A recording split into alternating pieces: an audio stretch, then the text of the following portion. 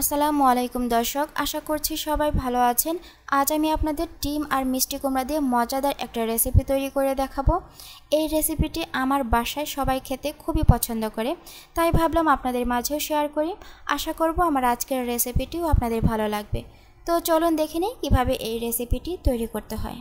এর জন্য প্রথমে আমি একটা মশলা তৈরি করে নিচ্ছি। এখানে আমি কাঁচা জিরে নিয়েছি এক চা চামচ, দুই টুকরো দারুচিনি, চার পাঁচটা সাদা এলাচ একটা পেঁয়াজ খোসা ছাড়িয়ে নিয়েছি আর একটা তেজপাতা মাঝখানে চিড়ে নিয়েছি। সবগুলো মশলা আমি ব্ল্যান্ডারে ভালোভাবে ব্ল্যান্ড করে নিচ্ছি। আর এখানে কিছু গুঁড়া মশলা নিয়েছি, মরিচ গুঁড়া নিয়েছি এক চা চামচ, হলুদ গুঁড়া হাফ চা চামচ, ধনিয়া গুঁড়া এক চা চামচ, গরম মশলা গুঁড়া হাফ চা চামচ আর স্বাদ মতো লবণ নিয়েছি। যে গোটা মশলাগুলো আমি নিয়েছিলাম সেগুলোকে আমি ভালোভাবে ব্ল্যান্ড করে নিয়েছি। আর এখানে আমি যে কাঁচা জিরেটা ব্যবহার করেছি, এই মশলাতে কাঁচা জিরেই ব্যবহার করতে হবে। এতে করে খুব সুন্দর একটা স্মেল আসে। এবার চুলায় একটি প্যান বসিয়ে দিয়েছি। এর মধ্যে আমি দুই টেবিল চামচ পরিমাণ সয়াবিন তেল দিয়ে দিলাম। তেলটা যখন হিট হয়ে আসবে তখন এর মধ্যে আমি সেদ্ধ করা ডিম দিয়ে দিচ্ছি। আর এই ডিম তিনটাকে আমি ভালোভাবে সেদ্ধ করে খোসা ছাড়িয়ে একটু ডিমের গায়ে এঁকে নিয়েছি। এতে করে ডিমটা তেলে দেওয়ার পর ফুটে আসবে না। এবার আমি এর মধ্যে চিমটি পরিমাণে মরিচ গুঁড়া আর চিমটি পরিমাণে হলুদ গুঁড়া দিয়ে ডিমটা ভেজে নিচ্ছি। মশলাগুলোকে আমি ডিমের গায়ে ভালোভাবে মিশিয়ে নিচ্ছি। ডিমটা ভাজা হয়ে গিয়েছে, এই ডিমগুলোকে আমি উঠিয়ে নিচ্ছি।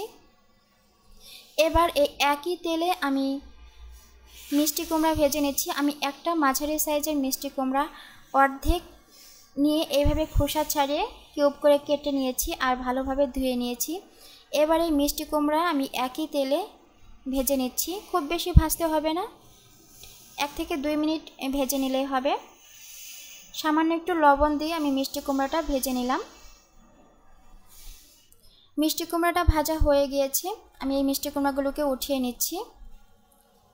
আর এখানে আমি কাঁচা মিষ্টি কুমড়া ব্যবহার করেছি। আপনারা চাইলে পাকা মিষ্টি কুমড়াটাও ব্যবহার করতে পারেন একই পদ্ধতিতে।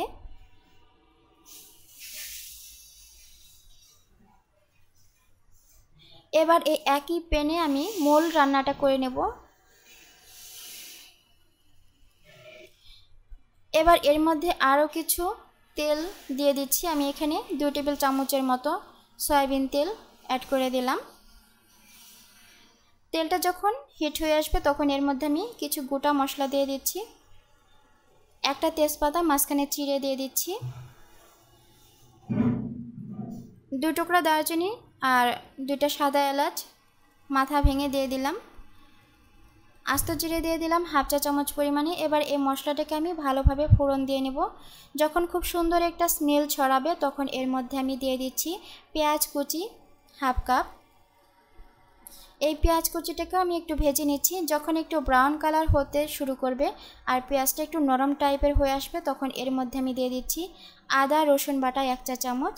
এবার এই আদা, রসুনটাকে আমি একটু ভালোভাবে ভেজে নিচ্ছি। সামান্য পরিমাণে পানি দিয়ে দিচ্ছি। আর এখানে যেহেতু আমি গুঁড়া মশলা ব্যবহার করব, তাই এই পানিটা আমি দিয়েছি। কারণ অনেক সময় দেখা যায় তেলে গুঁড়া মশলা দেওয়ার সাথে সাথে মশলাটা পুড়ে যায়। এইভাবে যদি অল্প পরিমাণে পানি দেওয়া হয়, তাহলে মশলাটা পুড়ে যাওয়ার চান্স থাকে না।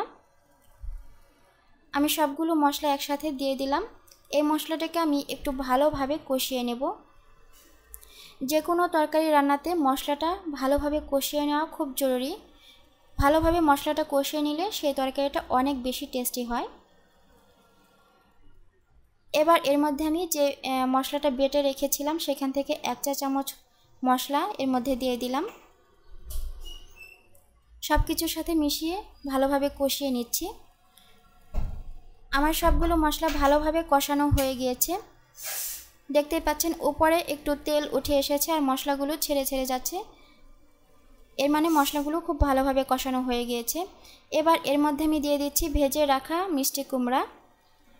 দিয়ে মশলার সাথে ভালোভাবে মিশিয়ে নিচ্ছি। আর এই মিষ্টি কুমড়াটাকে আমি দুই থেকে তিন মিনিট মশলার সাথে খুব ভালোভাবে কষিয়ে নেব। ঢাকা দিয়ে আমি দুই তিন মিনিট এই মশলাটাকে মশলার সাথে মিষ্টি কুমড়াটাকে ভালোভাবে কষিয়ে নিলাম। চামচ দিয়ে একটু ভালোভাবে নেড়ে চেড়ে দিচ্ছি। এবার এর মধ্যে আমি পানি অ্যাড করব। আমি যতটুকু মশ আমি যতটুকু ঝোল চাচ্ছি সে অনুযায়ী আমি পানিটা অ্যাড করে দিচ্ছি। আপনারা ঝোলটা কতটুকু ঘন চান বা কতটুকু পাতলা চান সে অনুযায়ী পানি অ্যাড করে দিবেন। আমি এর মধ্যে এক কাপের মতো পানি দিয়েছি। যখন এরকমভাবে বলক চলে আসবে, তখন এর মধ্যে আমি যে ডিমটা ভেজে রেখেছিলাম, সেই ডিমগুলোকে দিয়ে দিচ্ছি। এবার আরও তিন চার মিনিট আমি এই তরকারিটা জাল করে নিচ্ছি। তরকারিটার কালার দেখে বোঝা যাচ্ছে যে খেতে কতটা মজা হবে। সবশেষে আমি এর মধ্যে দিয়ে দিলাম হাফ চা চামচ পরিমাণে ভাজা জিরে। এই ভাজা জিরেটা দেওয়ার কারণ হচ্ছে খুব সুন্দর একটা স্মেল ছড়াবে। আমার এখানে তরকারিটা রান্না হয়ে গিয়েছে, আমি গ্যাসটা অফ করে দিয়েছি। এবার আমি চুলার উপরে আরও দুই তিন মিনিট রেখে সার্ভ করে নিচ্ছি।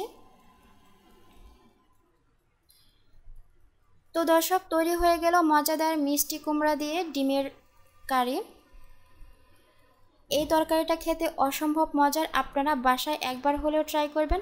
বাসায় যদি মাছ, মাংস নাও থাকে, ডিম আর মিষ্টি কুমড়া দিয়ে এরকম একটি মজাদার রেসিপি তৈরি করে দেখবেন সবাই খুব চেটে ফুটে খাবে। অসম্ভব মজার এই ডিমের কারি।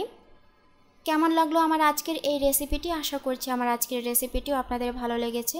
ভালো লাগলে লাইক কমেন্ট শেয়ার করবেন। আমার চ্যানেলটি সাবস্ক্রাইব করে রাখবেন। পাশের বেল বাটনে ক্লিক করে রাখবেন। তাহলে নতুন কোনো রেসিপি দেওয়ার সাথে সাথেই নোটিফিকেশনে সবার আগে পেয়ে যাবেন। আজ এই পর্যন্তই। আবারও নিয়ে আসব নতুন কোনো রেসিপি সে পর্যন্ত সবাই ভালো থাকবেন।